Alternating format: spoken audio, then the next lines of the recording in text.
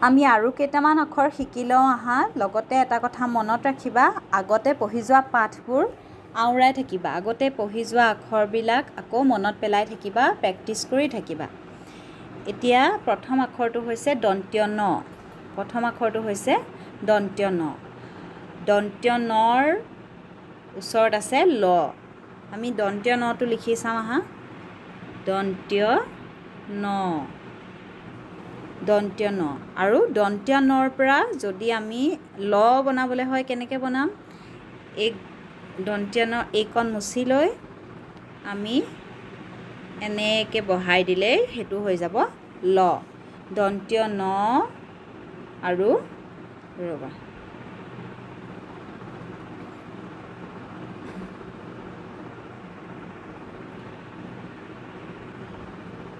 দন্ত্য ন আৰু ল। তাৰপিছত তাৰ দাঁতিত আছে কি? দুটা বেলেগ আখৰ আছে ম আৰু দন্ত্য স। এতিয়া ম আখৰটো আমি কেনেকৈ লিখিছোঁ? দন্ত্য নটোকে যদি এনেকৈ লিখি লওঁ দন্ত্য ন বুলি তাৰ লগত অলপমান এনেকৈ লগাই দিলে এইটো আখৰ হৈ যাব ম। নহয় জানো? এইটো আখৰ ম। আৰু তাৰ লগত আৰু অলপ মিল থকা আৰু এটা হৈছে সেইটো হৈছে দন্ত্য স দন্ত্য স ন ল ম দন্ত্য স তাৰপিছত আৰু তিনিটা আখৰ আছে সেইকেইটা কি কি তোমালোকে ক'ব পাৰিবানে? আখৰকেইটা এইটো কি আখৰ? এইটো কি? এইটো কি? পাৰিছা যদি ভাল কথা যদি নাই পৰা শিকি লোৱা। এই প্ৰথম আখৰটো হৈছে মূৰ্ধন্য ন। মূৰ্ধন্য ন। এনেকৈ লিখে। দন্ত্য নটো আমি অকণমান তলত লিখিছিলোঁ আৰু ওপৰত মাত্ৰা আছিলে। কিন্তু মূৰ্ধন্য নত মাত্ৰা নাথাকে ওপৰত আৰু দন্ত্য নতকৈ ওপৰত লিখিব লাগিব। দেখিছানে? দন্ত্য নটো এইখিনি লিখিছিলোঁ কিন্তু মূৰ্ধন্য নটো ওপৰত দিছোঁ। দেখিছা? এইটো সদায় লিখোঁতে মনত ৰাখিবা। তাৰপাছত এই আখৰটো হৈছে এই আখৰটো হৈছে গ গ আখৰ। ক খ গ তিনি নম্বৰ আখৰটো। মূৰ্ধন্যনৰ লগত বহুত মিল আছে। ওপৰৰ পৰা লিখিব লাগে হয়নে? আৰু মাত্ৰাও নাই। কেনেকৈ লিখিবা গ আখৰটো? এনেকৈ কৰি এনেকৈ দি এনেকৈ লিখিবা গ। গ আখৰটো দেখাত ভাল হ'ব লাগিব। আমাৰ গ আখৰটো সাধাৰণতে অলপ বেয়া হয় দেখিবলৈ। মোৰ আখৰটো কেনেকুৱা দেখিছা বাৰু? ভাল নে বেয়া? ঠিক আছে তোমালোকেও প্ৰেক্টিচ কৰিবা গ আখৰটো লিখিবলৈ। তাৰ দাঁতিত থকা আখৰটো হৈছে প। পটো আমাৰ দন্ত্য ন আৰু গড় লগত বহুত মিল আছে। ওপৰতে লিখিব লাগে আৰু মাত্ৰাও নাই। কেনেকৈ লিখিব লাগে প আখৰটো? এনেকৈ দি এনেকৈ কৰি এনেকৈ লিখিব লাগে দেই অকণমান চুটি হ'ল তলত নাযায় ৰ'বা। আকৌ এবাৰ লিখিছোঁ। প আখৰটো এনেকৈ কৰি এনেকৈ দি আঁচডাল দীঘলকৈ দি অকণমান এনেকৈ দি দিব লাগে। এইটো হৈছে প।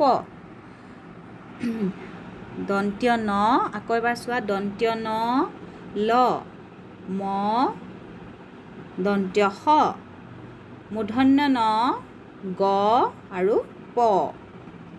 এতিয়া আমি তাৰে হোৱা শব্দবোৰ চাম। এইকেইটা আখৰ থকা শব্দবোৰ আমি এবাৰ চাম। শব্দবোৰ চোৱা। প্ৰথম শব্দটো আছে বল বল। অকণমান ডাঙৰ কৰি লৈছোঁ ৰ'বা। বল বল। ক মূৰ্ধন্য ন কণ। আ ম আম উ উ ল উল। বল কণ আম উল। বলটো বুজি পাইছা? এইটো বল আম এইটো আৰু এইটো উল। ওলকচু তাৰপিছত এইটো আহিলে আমাৰ ঘ দন্ত্য ন? ঘন আৰু ব দন্ত্য ন? বন। আমাৰ এইফালে আহিলে ক ম কম দন্ত্য ধ দন্ত্য ন ধন কম ধন। তাৰপিছত আহিলে তলত অ ল প অলপ। এইবাৰ আহিলে গ ৰ ম গৰম। তাৰপাছত দন্ত্য স ঘৰটো বৰ ডাঙৰকৈ ধৰিলে ৰ'বা। দন্ত্য স ৰ ল সৰল। ম ৰ ম মৰম। ক মূৰ্ধন্য ন ৰ কণৰ বল। বল কণৰ বল। আৰু এটা আছে ক ন ক মূৰ্ধন্য ন ৰ। কণৰ ব অন্ত্যস্ত য় দন্ত্য স বয়স কম কম। কণৰ বয়স কম। মনত ৰ'বনে আখৰবিলাক? দন্ত্য ন আকৌ এবাৰ লিখি চাইছোঁ ৰ'বা।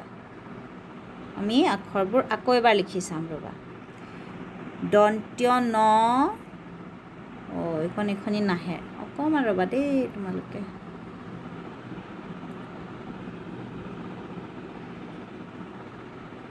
দন্ত্য ন। দন্ত্য নৰ পৰা আমি এইফালে লগাই দিলে এইটো হ'ব ল। দন্ত্য নৰ পৰা আমি লগাই দিলে এইফালে হ'ব ল অকণমান লটো বেয়া হৈছে ৰ'বা।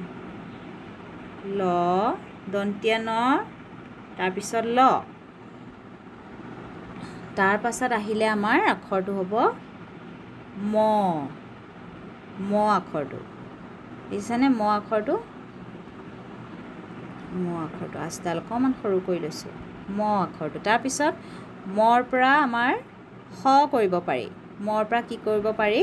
দন্ত্য স কৰিব পাৰি। মটো অকণমান বদলাই দিলেই কি হৈ যাব? দন্ত্য স হৈ যাব। দন্ত্য স এইটো দন্ত্য স এনেকৈ দন্ত্য স লিখিব লাগিব। তাৰপিছত আৰু কি আছে? মূৰ্ধন্য ন গ আৰু প সেই তিনিটাও দেখিবলৈ বহুত মিল আছে। মূৰ্ধন্য নটো আমি এনেকৈ লিখিম। তাৰপিছত মূৰ্ধন্য নৰ এই ফুটটো আঁতৰাই আমি কি কৰিব পাৰোঁ? গ বনাব পাৰোঁ। আৰু প প আখৰটো লিখিবলৈ হ'লে আমি কি কৰিব লাগিব? প আখৰটো কেনেকৈ লিখিম আমি? প্ৰথমে এনেকৈ দিম এনেকৈ দিম তাৰপিছত এনেকৈ দিম। আখৰ লিখাৰ এটা ধৰণ থাকে। যেনি তেনিৰ পৰা আৰম্ভ কৰি লিখিলে আখৰটো দেখিবলৈও বেয়া হয় আৰু সেইটো নিয়ম ভুল। গতিকে আখৰ লিখাৰ নিয়মবোৰো মই লিখোঁতে কেনেকৈ লিখিছোঁ? মন কৰি যাবাচোন তোমালোকে সেইদৰে লিখিবলৈ চেষ্টা কৰিবা।